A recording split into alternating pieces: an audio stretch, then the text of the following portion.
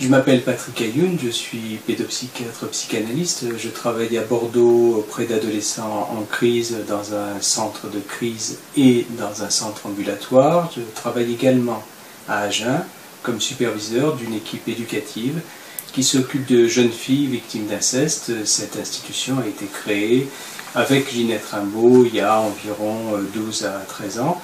Euh, nous avons, euh, dans cette institution, euh, à plusieurs reprises, été amenés à faire des colloques sur des thèmes variés. Et il se trouve qu'en juin 2012, il nous est apparu qu'il y avait un thème qui n'avait jamais été traité et qui était pourtant absolument fondamental, qui est celui de, la position des mères dans un inceste père-fille cette position euh, a été euh, malheureusement euh, complètement négligée, minimisée. Les mères ont été accusées d'être complices de, des incestes qui se déroulaient parfois sous leurs yeux, mais parfois complètement en dehors de leur regard.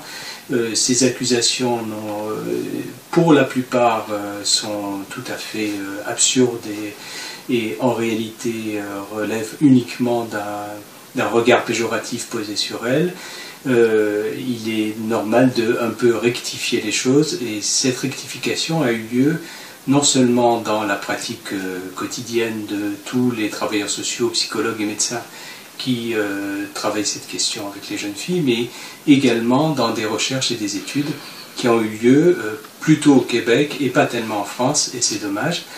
Euh, donc euh, ce colloque et cet ouvrage euh, collectif se veut un appel à une recherche pluridisciplinaire, transdisciplinaire, qui mêle les regards anthropologiques, psychanalytiques, historiques et des travailleurs sociaux.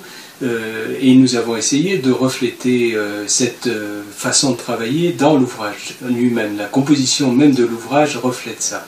C'est-à-dire qu'il y a euh, un effort d'élaboration selon ces différents axes, mais également des témoignages et des essais de prise en charge avec une évaluation euh, de, ces prises en charge. Il est sûr que euh, à la maison d'accueil Jean Bru à Agen, nous avons un souci de la qualité de ces prises en charge et nous avons un souci également de la recherche.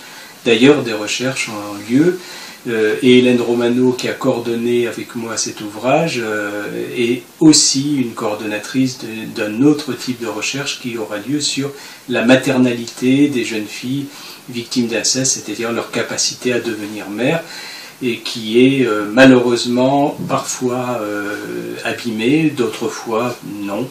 ce qui met en question la célèbre reproduction transgénérationnelle des maltraitances sexuelles. Euh, il est sûr qu'il euh, euh, y aura d'autres ouvrages sur ce même thème. D'ailleurs, on, appelle à, à, ce que des chercheurs se mettent ensemble pour coordonner de nouvelles études.